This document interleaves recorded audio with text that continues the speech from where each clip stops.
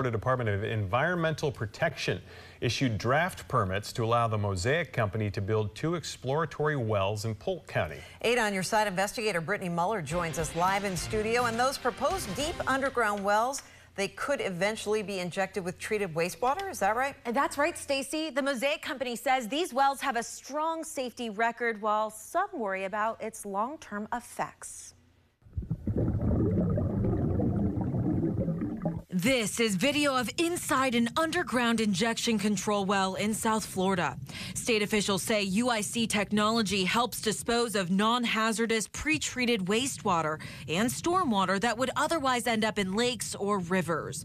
There are more than 220 of them across the state. Now, the DEP has issued draft permits to the Mosaic Company for two more exploratory deep wells in Polk County, one in Bartow and the other in Mulberry. The bottom line is the well must penetrate through several confining layers uh, such that there can't be an interchange of water from the injection zone into other systems. David Brown is a geologist. Both sites are designed to be 8,000 feet below ground.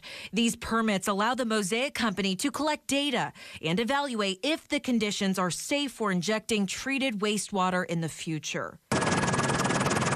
Remember back in 2021, more than 200 million gallons of untreated wastewater was discharged into Tampa Bay because of a leak at Piney Point, the former phosphate facility in Manatee County, ultimately leading to the opening of a deep injection well. And has basically safely disposed of some of that water that was unfortunately released.